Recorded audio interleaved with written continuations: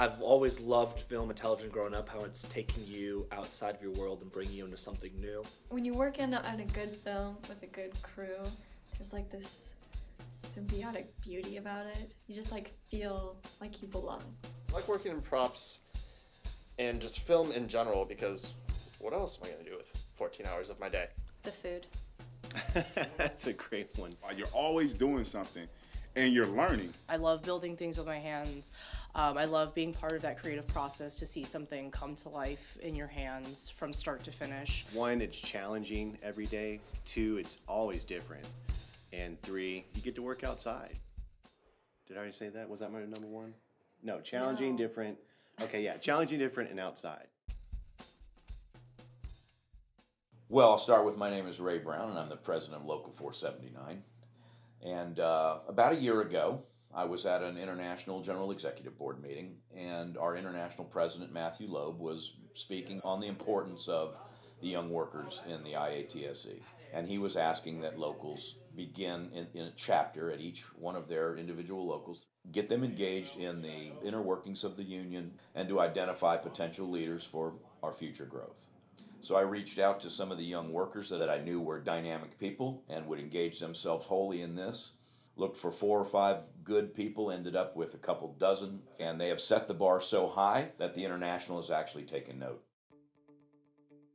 I am Kevin Cheatham, compound last name Cheatham, chairman of the Young Workers Committee for Local 479. And I'm Hilary Smiley, co chair of the Young Workers Committee for Local 479. When we started the, the Young Workers Committee for our local last year, um, we just had in mind okay, you know, step one, we have to get the first event out the gate and let's see what comes of it. Huge success, great. But we also want to have classes that will further educate our young workers coming in to solidify the base of our union and also create more positions within our committee for young workers. And it provides that opportunity for young workers to fulfill that leadership role. And that's what it's all about is creating that strong foundation for our union. Hi, my name is Glenn Pizon. I am the treasurer of the uh, Local 479 Young Workers Committee, and I work in props. We knew we wanted to start off this whole Young Workers Committee with something big. We came up with the idea for the kickball tournament, and we just went to our respective shows and just asked for support. The UPMs, the executive producers, and also just reaching out to crew members and saying, hey, do you want to come be a part of this thing? And we reached out in general to the, the film community too host of vendors that are around here that work uh, with film, rental houses, set dec warehouses, things of that nature. We wanted everyone to experience success from this event. And I, I think everyone was pretty happy. I mean, the turnout was bigger than I ever expected it would be at the start of this thing. Um, and for something that big to come uh, to fruition so well, I mean, 200 people, $18,000, uh, that's pretty remarkable.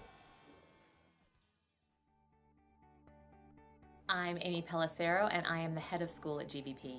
I'm Julia Levy, and I'm the Director of Finance and Development at GVP. All of our students are legal refugees who have come to the U.S. They've been resettled through UNHCR. So they're mostly coming from places where there has been um, a history of conflict and people have had to move uh, multiple times and they're searching for a place to raise their children and to help their children find an education and have a future. IATSE in Atlanta raised over $18,000 for our program through their kickball tournament. That was an enormous, valuable gift for us in so many ways, but primarily it, it raised scholarship funds for our students. They attend our school free of charge, so this was an amazing gift for us. It's a big deal to be able to educate one young woman for a whole year for free. And if we weren't able to raise this money for them year after year, the school wouldn't exist and we wouldn't be able to do this good work. So, the purpose of the Oscar party was for our young workers to network with each other and make connections. We all work in film and we want to celebrate the art that we make, and it was a way of just giving our nod to things that we create. We had a lot of planning that went into it, and that's where we got a lot of our new members to come in and just help with getting things picked up in a timely fashion, getting things decorated in a timely fashion. So our charity was Crestview Health and Rehab, and uh, what we did was a clothing drive, and we had thousands of items donated from different productions, from individuals coming in. It was a different way to give back to our community. Young Workers Committee is important because we're able to network between young workers. There's so many people getting into the union nowadays that don't exactly know what the union is about. And this gives us opportunities to, to hold events, to talk to people, to talk to bigger people that are in hiring positions, that know people that are in hiring positions. When I first got involved with the Young Workers Committee, I didn't really talk to people at meetings. I more or less sat by myself. And now when I come to meetings, I'm always sitting with another young worker or a group of young workers, and we become more or less a family. I believe our success has come from one, uh, a very strong team effort.